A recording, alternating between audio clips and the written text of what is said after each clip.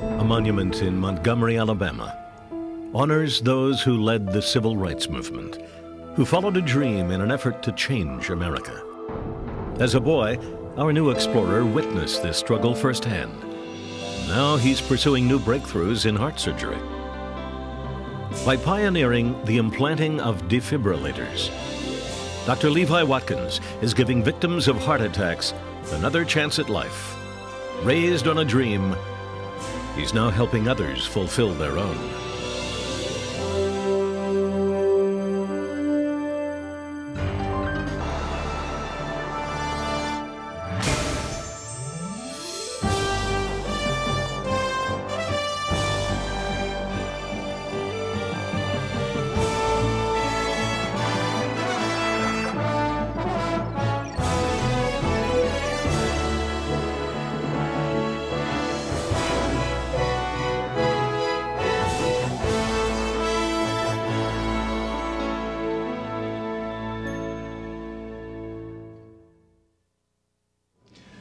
I'm Bill Kurtis.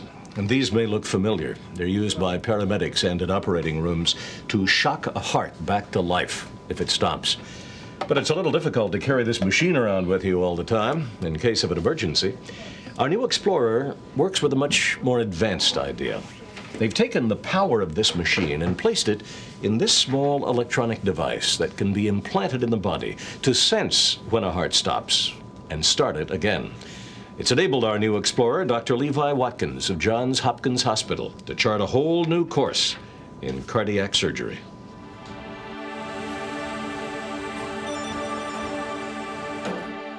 Baltimore, Maryland, the corridors of Johns Hopkins Hospital, a world class institution considered one of the best.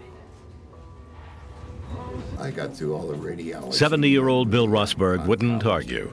After separate surgeries for heart failure and cancer, he's a Hopkins regular. My wife can take you around this hospital better than any guy you, you have. Uh, but we love this place, seriously, no matter what it is. Uh, I don't know what they do here, but uh, they make you feel very comfortable. He's here today because two weeks ago his heart stopped. I'll see if you can run Mrs. Rosberg down. Dr. Levi Watkins, a heart surgeon at Johns Hopkins, is going to try to make sure it doesn't happen again. His specialty is giving patients another chance at life. Bill Rosberg almost missed that chance, as his wife explains. But let me assure you, everything. My son had come up from Charlottesville, and for it's Father's Day weekend, hmm. and we were Father's greeting Day each, weekend. yes, we were greeting each other out on the driveway, and my husband was in the basement in his shop playing solitaire, and he mm-hmm. heard us from the mm-hmm. driveway, so mm-hmm. he came upstairs. So it wasn't much time because he came up. He decided to get a glass of water on the sink board, and we came through the greeted each other and the two grandchildren, then came through the family room, mm-hmm. and I could see his arm lying on the floor. Mm-hmm. So he, and mm-hmm. at that point he was, and he, the glass everywhere, but he was not cut. He did not strike his head. He really was very lucky. The human heart, under normal circumstances, beats steadily, about 72 beats per minute. But for many heart patients, the scarring of previous heart attacks could lead to sudden cardiac arrhythmia. It's a short circuit within the heart that throws it off course into a pulsating frenzy. Blood pressure falls, the body's pump shuts down. By applying a jolt of electricity to the heart, doctors can shock it back to its proper rhythm. Without intervention, most people die within minutes, but those who get help can be pulled from sudden death. A team of emergency medical technicians conducts its rescue mission, delivering an electric current to the heart with the paddles of a defibrillator. For the fortunate, the heart returns to normal and the episode ends. Gotta get you down there. In a few hours, Dr. Watkins will implant a miniaturized defibrillator in Bill Rosberg. The risk of his heart stopping unexpectedly again is great. If it does, the defibrillator will jolt it back into action. Now, where we are with this device, Much smaller. much smaller. Just, I mean, you can see the, the differences, much smaller. This is both the doctor and the powerhouse. It can make the diagnosis of ventricular tachycardia, and it also has the power. Now, they're comparable, The power source sits here. The, uh, these are the paddles, if you will. These patches compare To to these. these. Uh-huh. So this goes on the chest, this goes on the heart. Dr. Watkins has a long history with the defibrillator. He's performed more than 650 implants since 1980, more than any other heart surgeon. In the 1970s, he worked closely with the inventor of the device, Dr. Michel Mirowski of Baltimore Sinai Hospital. It took years of research, refinement, and experimentation before the first defibrillator implant in a human was performed in 1980. The lead surgeon, Dr. Levi Watkins. The procedure was marked by both triumph and tension. Actually, the first implant fell on the floor. the nurses and all were so nervous for the first implant. When I asked for the device, it went to the floor. So the second device was given to me and we implanted it in this lady.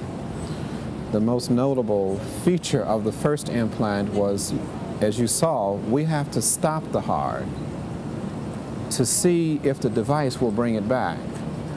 And in all of our training, we are taught to start the heart, not to stop it. Yes. And so for the first time, I guess ever, and certainly for the first time in uh, my experience, we, we stopped it. And we had to wait until the device fired. And in this particular patient, it, it took 35 seconds. Goodness. And it seemed like that was the longest 35 seconds in a lifetime. Yes. And we were about to abandon the uh, concept of the internal defibrillator and go to that external device that you. And in fact, I had grabbed the paddles of the external device, getting ready to try to shock her back, when the internal implantable device fired and brought her back. Wow. And that was the first uh, human implant and the first human restoration, automatic restoration by the device. Is she still living? Yes, she is. Really? Yes, she is. What a success yes, story. She is. Back at Johns Hopkins, Dr. Watkins will try for another success. But to do so, he must turn off Bill Rosberg's heart. It's 11 a.m., and Bill Rosberg is in the cardiac catheter lab. Cardiologists carefully thread defibrillator wires into a vein. Their target is the patient's heart. Three hours from now, Dr. Watkins will connect the other ends of the wires to the defibrillator, which will be permanently placed in the abdomen. For the rest of Mr. Rosberg's life, the implant will continually pick up electric impulses from the heart, monitoring it for abnormal rhythm. Without the implant, the likelihood of a patient living five years is zero. Now, with the implant and techniques pioneered by Dr. Watkins, life expectancy is 10 years. The only thing we have to do is uh, check this electrode out, make sure it's okay. Before surgery, Dr. Watkins gives a final briefing to his chief resident, who will assist him in the operating room. Prep him out all the way down in case we have to resuscitate him with the external device. He makes a strong effort at mentoring, perhaps because of the leader who guided him. Get all the uh. In 1955, Martin Luther King Jr. had just moved to Montgomery, Alabama, taking the pulpit at Dexter Avenue Baptist Church. He was only 25. Among his congregation were Levi Watkins Sr. and his family. Dr. Watkins would soon become president of Alabama State University. Levi Jr. and his brothers and sisters were destined to live in a special place and time, to witness a wildfire that would sweep the South and eventually America. The tinder for the blaze of protest was Montgomery, a city filled with racial tension and divided in two one black, one white. For the whites, there was privilege, but for a black child in Montgomery, Couldn't go to the swimming pool, the zoo, the park, the Dairy Queen, the White Tower restaurants, the Paramount movie theaters. None of those things were available. So back then at that time, it seemed uh, not a great place to grow up. But in retrospect, it was a wonderful place to grow up. and what a time and piece of history. Yes, yes. And as a youngster, he was surrounded by the struggle.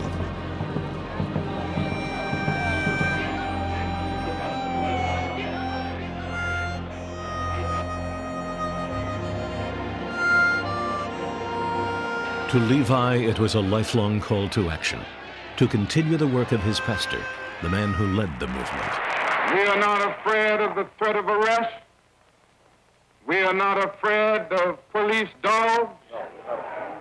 We are not afraid of the Nazi party, of the states' rights party, because as we march, we know that we do not march alone.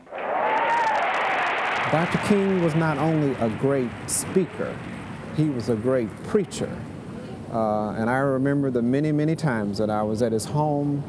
We had a little club called the Crusaders Club. Dr. King would bring in all the young boys and try to influence them, and obviously he did, he did influence us. But he brought us in his home in the evenings and talked about uh, the concept of God and what that should mean. Dr. King's dream, born in Montgomery, has come true today as Levi Watkins Jr. operates on Bill Rosberg. The surgical team will use an innovative approach known as the Endotak lead system. It's a closed chest procedure less invasive than the standard open heart approach. The technique was officially approved by the FDA in 1995, and if it works, will allow Bill Rosberg to undergo a major surgical operation with a lot fewer complications. Before connecting the generator and leads, the team will conduct a series of tests. They want to make sure that all components are working and to determine the exact amount of energy needed to restart Bill Rosberg's heart. Okay, you got your pacing hooked up, big team. First, the electrodes are tested. We're going to have the external defibrillator on max. We have to cut this off so that we can shock him in case he doesn't come back. This is the most dramatic step, especially for someone who has just survived cardiac arrhythmia. To find out how much energy it takes to defibrillate the heart, it must first be fibrillated, stopped, just as it was when Bill Rosberg collapsed at home. All eyes focus on the corner screen. The top yellow lines represent EKG, the heart's electrical output. The bottom peaks show blood pressure. Okay, you guys ready? Have at it. Okay, papers on. Inducing. 1001, 1002, 1003, off. 4, As electric current uh, shuts the heart down, 7, 8, 9, 10. Frank. the implant fires, 10, 40, snap. but the heart doesn't respond. Rescue, internal rescue at 40 coming. Try it again, charge again, stat 40. Just the 40 coming. Put this thing on here. Go ahead again. Get these out of the way. Nope, still 40 again is not getting them internally. Okay. Okay, externally got them. The implant didn't work. A jolt from the paddles used 10 times the power of the implant. That was 15, and then two internal at 40 didn't get them, so let's go to configuration uh, two. The team must modify its approach, altering the lead system, closing in on the precise power setting. Now, how do you want, uh, what do you want as negative in this second configuration? The trial run on Bill Rosberg's implant continues. There is no substitute test, no way to simulate arrhythmia. They'll have to stop his heart again. Everybody cross their fingers and say their prayer. Okay, induction, 1001, 1002, 1003, 2004, 2005, 2006, 2007, 2008, 2009, 2010. Frank? Ah, Good. beautiful. Okay. Beautiful. The implant works. Bill Rosberg's heart is now beating normally. Putting the patient's life on hold, relying on teamwork to bring him back. It's a huge responsibility, and the outcome is never certain. A doctor needs a place to gain perspective, like the waters of Baltimore's harbor. What are the rewards for a surgeon? I think the, the first reward uh, is, is uh, your ability to impact, along with God, in saving uh, life. And I mean not life down the road, but helping to save life immediately. Because, you know, most of my patients know they are lucky. They are lucky to be here. Uh, they know that even before they come. Uh, so I enjoy it. I enjoy it. I enjoy uh, operating on them. I enjoy uh, loving them. And I try to share myself with them and uh, treat them as if they are my family, which they are. And the family tree has many branches. On the walls of his harborfront home are pictures of many civil rights leaders and renowned performers, all longtime friends of Levi. The late Reverend Dr. Ralph Abernathy. Singer Harry Belafonte. Former UN Ambassador and Atlanta Mayor Andrew Young. South African President Nelson Mandela and Bishop Desmond Tutu. The friendships go deep, rooted in a common cause. And of course, Rosa Parks. One single act of courage. She is a wonderful friend and she is a patient. Uh, she's doing very well. She's one of the strongest women I have ever met in my life at any age. On December 1st, 1955, Rosa Parks changed the course of history. That afternoon, she rode a Montgomery bus home from work. She sat down. The driver came back and asked her to give her seat to a white man. By the courage of her convictions, she refused to get up and was promptly jailed. Rosa Parks' action sparked the Montgomery bus boycott and the entire civil rights movement that followed. Ten years after the boycott, Watkins made his own historic contribution to civil rights as the first African American student to enroll and later graduate from Vanderbilt University Medical School. Okay, well, what I'm going to do is. Today at Johns Hopkins, his ongoing efforts at African American recruitment have shown positive results. Since joining the hospital in 1979, African American medical student enrollment has grown from less than 1% to over 13%, well above the national average for medical schools. Levi Watkins' two lives, medicine and civil rights, are inseparable. We saw it when we went home to historic Dexter Avenue Baptist Church with patient Rosa Parks. Real love for a real world is the subject today. Watch these stairs. Yeah. Love is informed. And my dear friends, love is intelligent. As it moves in the midst of a wolf like world, Jesus says that love ought to be wise as a serpent. For the Dexter Fellowship, it's a chance for longtime friends to reconnect with Rosa and Levi, a mother of the movement and a child of the cause. For children now in uh, who might be reading about the bus boycott, could you describe for them um, that day and that moment? Well, I can remember that uh, we had a very severe, legally enforced uh, racial segregation everywhere, and of course it was very disagreeable on the buses. And at the time I was arrested, I was working with the NAACP as a, as a secretary of the senior branch and as advisor to the youth.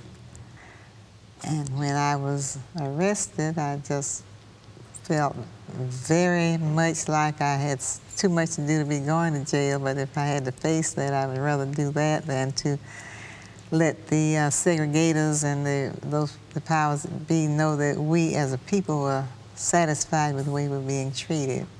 Of course, Dr. Watkins would not have been able to go to Vanderbilt were it not for the civil rights movement. Well, listen, I'm glad she sat down because if she hadn't sat down, I wouldn't have been able to stand up.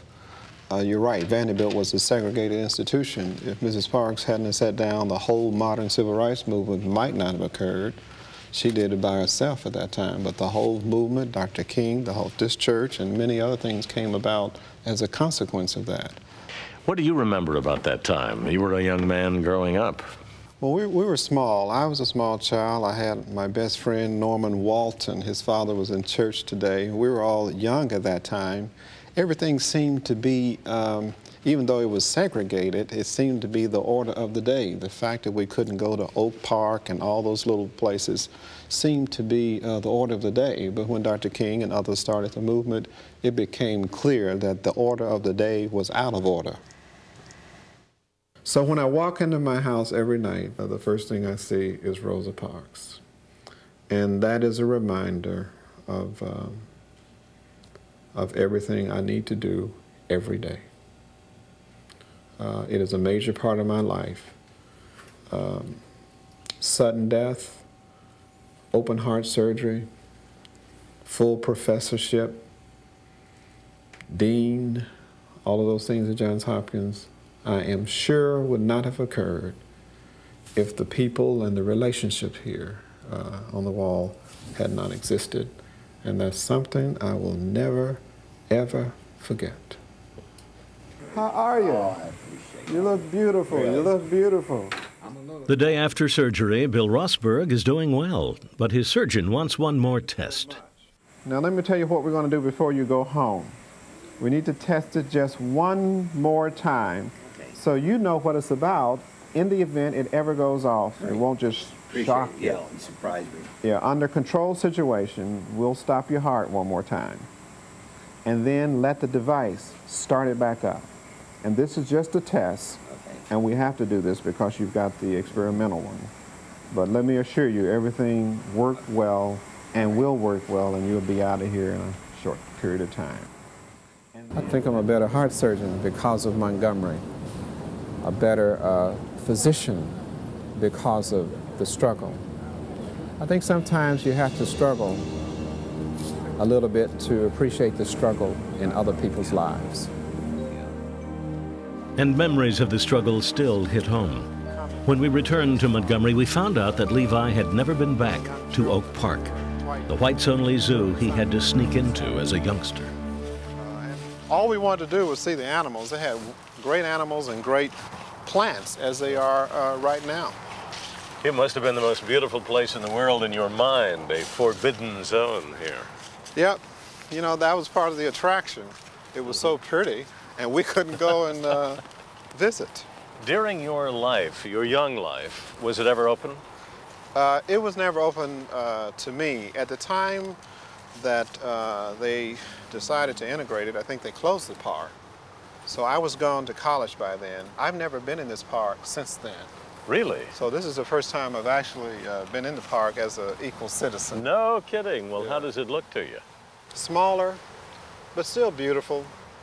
This pond is just as pretty. The plants, I don't know what they did with all the animals. But you know what? There are, one of the things that concerns me is that there are a lot of other little oak parks in America and I hope that we can change uh, them as this park has changed. And I think the beauty of America can be brought out for all people if we do that.